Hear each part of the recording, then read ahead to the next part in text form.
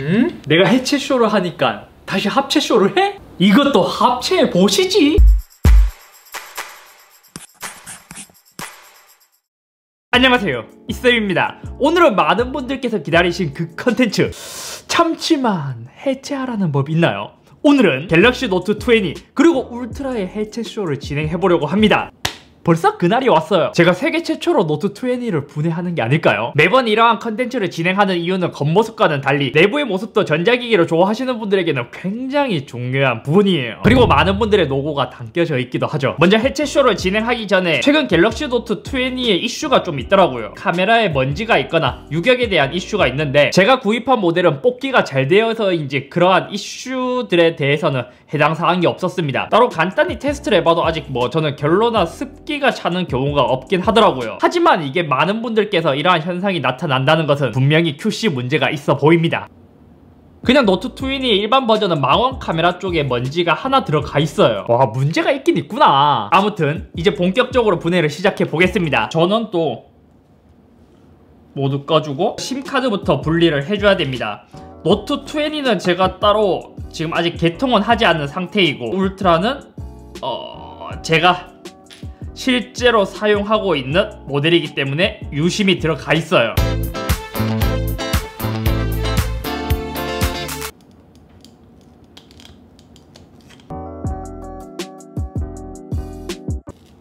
이거 봐요. 뒷판이 플라스틱이라서 이렇게 그냥 휘어지는 하드 케이스에서 볼 수 있듯이 쉽게 휘어지는 뒷판의 모습을 갖고 있습니다. 자세히 보면 투명한 플라스틱 판에 편광 필름을 붙여서 색을 입힌 거예요. 각각의 카메라에도 sealing 처리가 되어 있고 카메라 쪽에 마이크 그리고 LED 플래시가 탑재되어 있는 모습을 볼 수 있죠. 나머지는 특별한 부분은 없습니다. 다음은 울트라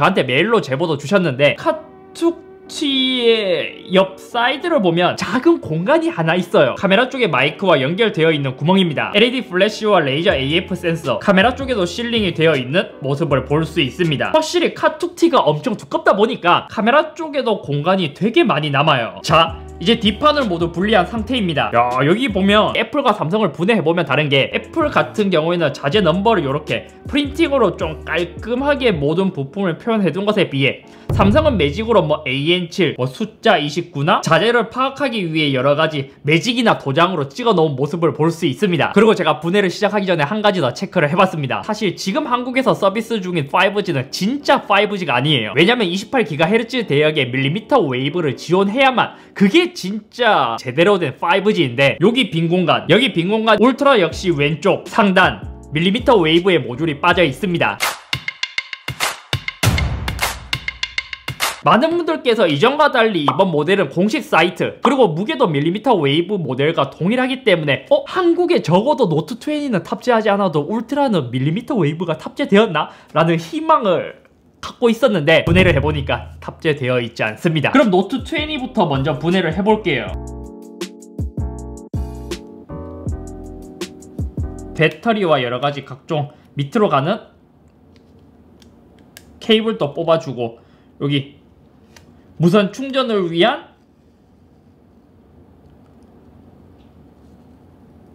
무선 충전 패드. 하단 스피커와 안테나 모듈을 분리했습니다. 알갱이처럼 생긴 요 폼 소재 요것도 들어있고 동그란 진동 모듈. 어... 그렇죠? 하단에 작은 기판도 분리해줬고 여기도 하단 마이크 모듈이 있습니다 이 모듈의 반대쪽을 봤을 때 여기도 작은 구멍이 있는데 이 구멍과 하우징에 있는 구멍 구멍을 통해 하단에 있는 여기 마이크 구멍과 연결이 되어 있는 방식이에요. 아마 방수 방진 때문에 더 복잡한 구조로 되어 있는 게 아닐까 싶습니다. 여기는 스피커가 들어가는 공간 C타입 포트도 분리되는 방식으로 만들어져 있습니다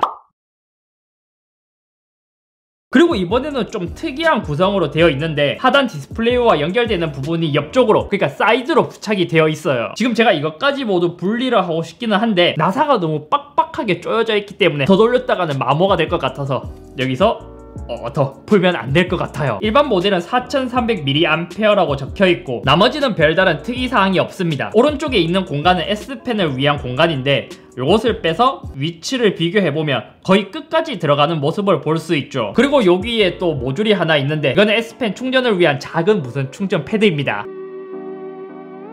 안테나 모듈 또 분리를 했을 때 야 이번에는 조금 달라졌다 구성이. 근데 이러한 모듈이 따로 탑재가 되어 있진 않았습니다. 아니 정확하게는 이러한 모듈이 하우징에 부착이 되어 있는 방식이었지만 이제는 위쪽 안테나 있는 부분에 스피커 모듈이 탑재되어 있습니다 그리고 특이한 게 이번에는 스피커 모듈 옆에 알갱이 소재의 폼도 상단에 탑재가 되어 있고 그리고 또 지금 제 개인적인 추측으로는 이게 안테나를 꽂을 수 있는 것 같은 그러한 모듈이 아닐까 추측이 되기도 하는데 전 S20를 분해해보면 millimeter wave를 위한 안테나 모듈이 여기에 가로로 있었는데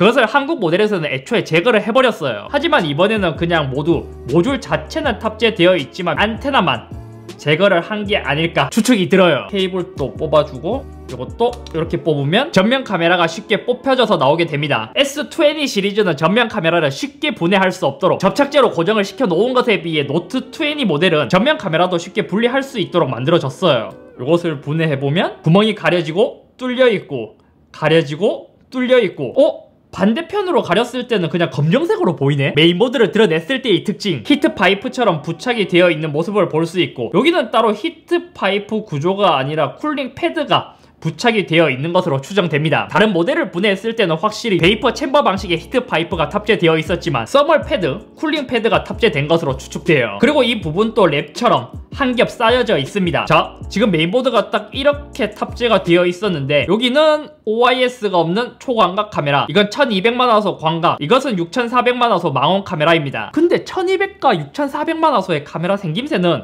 외관적으로 봤을 때는 크게 차이가 나지 않아요. 둘 다 OIS는 모두 탑재가 되어 있고 뒤쪽을 봤을 때 초광각 따로 광각과 망원이 함께 묶여있는 모습을 볼 수 있죠. 와 분리를 해놓고 보니까 광각이랑 망원은 진짜 생김새가 비슷해요. 카메라를 더 분리하지 않는 이상 차이점을 알기는 어려울 것 같습니다. 프로세서나 램이나 스토리지는 모두 실드캔에 쌓여져 있습니다. 실드캔은 내부 노이즈나 정전기 방지의 역할을 하게 되는데 이것을 뜯게 되면 제가 이것을 다시 붙일 수 없기 때문에 더 이상 분해는 할수 없어요. 삼성도 이제 적층형 메인보드 구조를 사용하고 있습니다. 보면 여러 겹이 쌓여져서 지금 붙어 있는 모습을 볼 수 있고 약간 히트 파이프로 추정되는 것에 이제 모듈을 비교해 보면 여기 히트 파이프가 맞닿는 부위인 것 같아요. 여기에 들어간다? 삼성이 의도적으로 한국에는 스펙을 nerf시킨 것 같습니다. 왜냐면 일반 모델은 유심 한 개만 지원하고 외장 메모리나 dual SIM을 지원하지 않거든요. 그렇기 때문에 유심 슬롯에 구멍이 막혀 있는데 유심을 넣고 이렇게 장착을 하게 된다면 유심 슬롯이 두 개는 모두 만들어져 있지만 한국에서는 유심 슬롯에 여기 공간을 막아버렸기 때문에 dual SIM을 사용하지 못하는 것으로 추정됩니다. 자세히 보면 여기도 핀이 없는 게 아니라 모듈이 모두 구성이 되어 있어요. 이거 유심 슬롯만 해외판으로 구하면 듀얼심이 가능할 수도 있겠는데요? 야 솔직히 이게 모듈이 있는데 구멍을 막아서 이 기능을 못 쓰게 만든다는 것. 이 기능을 사용할 수 있게 삼성이 만들어줬다면 오히려 더 칭찬을 받았을 건데 이것은 아마 통신사의 압박이 있었을 수도 있을 것 같습니다. 그럼 이번에는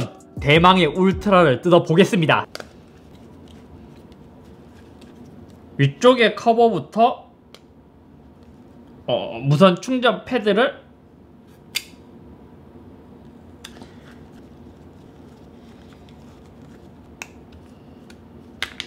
일반 버전과 스피커의 테임 모습이 조금 달라요.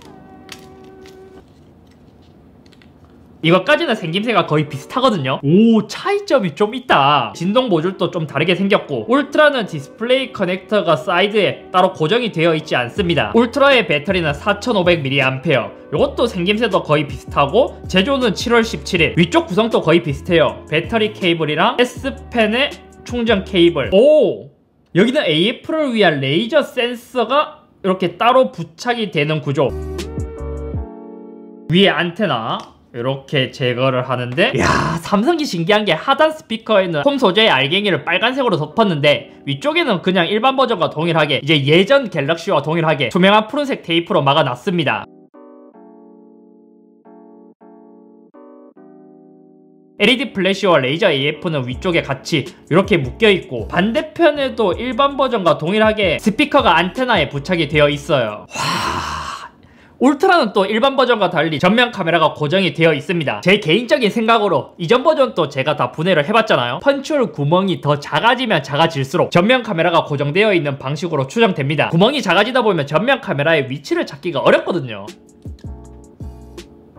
삼성이 이번부터는 기존에 쓰던 vapor chamber 방식의 히트 파이프를 쓰는 게 아니라 이러한 방식의 cooling pad 아니면 thermal pad와 같은 방식을 사용한 것으로 추정됩니다. 기존에는 확실히 구리색 히트 파이프라는 것을 알려줬지만 지금 보면 thermal pad처럼 생겼어요. 그리고 자세히 보면 랩처럼 쌓여 있는 모습을 볼 수 있습니다. 카메라 쪽도 보면 초광각, 망원 쪽에는 하우징이 이렇게 올라와 있지만 1억 800만 화소의 광각 카메라가 커서인지 여기는 또 뚫려 있는 모습을 볼 수 있습니다. 야 이게 보면 볼수록 또 재밌다. 메인보드를 비교해 봤을 때는 일반과 확실히 구조 차이가 적층형 구조인 것은 모두 동일하게 되어 있지만 내부의 부품들이 모두 다르게 쓰인 것을 알 수 있어요. 초광각은 OIS가 탑재되지 않았고 1억 800만 광각 카메라는 정말 크게 어, OIS도 탑재된 모습을 볼 수 있습니다. 그리고 밑에는 folded 구조의 망원 카메라가 탑재되어 있습니다. 망원 카메라는 광학 줌을 하기 위해 렌즈 그리고 이미지 센서 간의 거리가 멀어야 하기 때문에 삼성은 렌즈를 가로로 배치하고 끝에 프리즘을 넣으면서 빛이 이렇게 들어와서 가로로 꺾여서 이미지 센서가 얘는 가로로 배치되어 있는 방식으로 만들었습니다. 그러니까 얘네 두 개는 이미지 센서가 바닥에 있지만 망원 카메라는 여기 가로로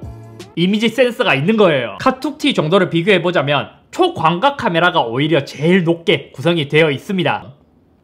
지금 메인보드가 카메라가 이렇게 구성이 되어 있는 거란 말이에요. 근데 카메라 쪽에 폼을 보면 이게 다른 제품과 다르게 정말 두껍게 되어 있습니다. 먼지나 습기가 이동하지 않도록 이렇게 어, 격벽 구조로 되어 있다는 것인데 이게 엄청나게 두껍다. 일반 버전은 이렇게 두껍지가 않거든요. 삼성은 일부러 카툭튀의 모습을 훨씬 더 크게 강조를 한 것으로 추정됩니다. 그래서 삼성에서는 카툭튀를 더 줄일 수는 있었지만 뭔가 노트 20만의 개성을 살리기 위해 카툭튀를 일부러 더 크게 만들었다. 맞는 것 같습니다. 이야 진짜 1억 800만 화소 카메라 모듈은 정말 커요. 일반 모델과 비교하더라도 엄청 큰 모습을 볼 수 있습니다. 아 여기서 또 궁금증이 생길 수도 있어요. 왜 가면 갈수록 카툭티가 심해지고 카메라 카메라가 더 커지게 되나요? 카메라는 빛이 받는 영역이 커질수록 그러니까 이제 수광량이 많을수록 화질은 더 좋아지게 됩니다. 애플도 카메라를 더 크게 카툭티 있게 만드는 이유가 더 큰 이미지 센서를 쓰기 위함입니다. 물론 요즘은 소프트웨어 그러니까 후처리 기술도 많이 발전했어요. 그리고 메인보드는 뭐 Z 플립이나 폴드처럼 따로 무지갯빛이 도는 코팅은 되어 있지 않고 여기가 프로세서, 스토리지, 램이 들어가 있는 공간입니다. 여기는 유심과 메모리 카드를 넣을 수 있는 공간인데 일반 버전과 비교해도 모듈 자체가 더 큰 모습을 볼 수 있고 울트라는 이곳에 외장 메모리가 들어가거든요. 이것을 봤을 때 일반 버전의 유심은 듀얼 유심이 들어갈 수 있는 것으로 추정됩니다. 심지어 울트라 버전도 자세히 보면 유심 구멍은 동일하게 두 개가 되어 있고 위쪽에 외장 메모리 슬롯도 한 개 더 추가된 모습을 볼 수 있어요. 만약 이게 맞다면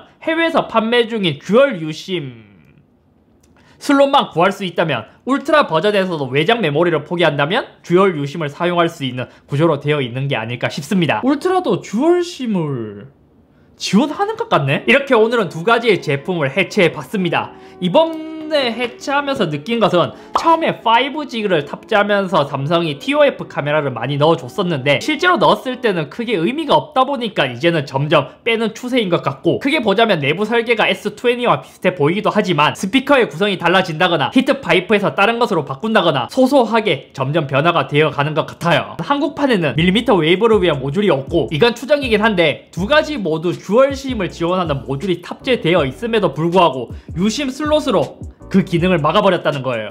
이게 진짜 해외판 유심 슬롯만 구한다면 한국에서도 듀얼심 쓸 수 있을 것 같은데요? 아무튼 오늘은 여기까지이며 저도 이러한 전자기기 새로운 전자기기를 분해할 때마다 진짜 재미있고 시간 가는지 모르고 자꾸 이런 것을 하게 되는 것 같아요. 혹시 제가 해체쇼를 하면서 잘못된 정보가 있다면 댓글을 통해 알려주시면 그리고 새로운 정보 제가 못 봤던 정보도 공유해 주시면 많은 분들에게 도움이 될 수 있을 것 같습니다. 지금 이틀째 합체 못해서 여기에 유심 넣었는데 지금 이틀째 카톡을 못 쓰고 있습니다. 카톡을 언제 다시 조립하지?